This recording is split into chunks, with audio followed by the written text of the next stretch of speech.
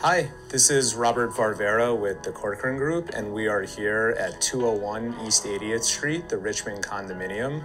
We are in apartment 9C, which is a 2,000 square foot, three bedroom, three and a half bath. Although it's, it's a condominium and everything looks very new, the building was built in 1926 and was converted to condo in 1994. It was originally used as a warehouse facility, so you get these big rooms with grand proportions. Let's go and take a look.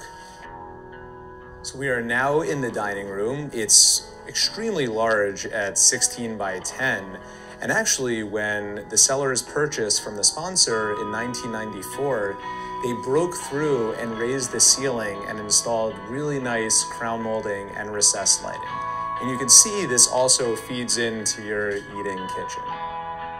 This is the eat-in kitchen with top-of-the-line appliances such as a Miele dishwasher, a Sub-Zero fridge, a Viking range and Viking wine storage, and a farm-style sink.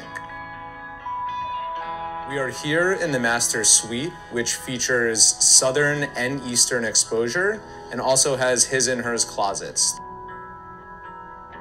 The ensuite bathroom has a full tub and shower stall.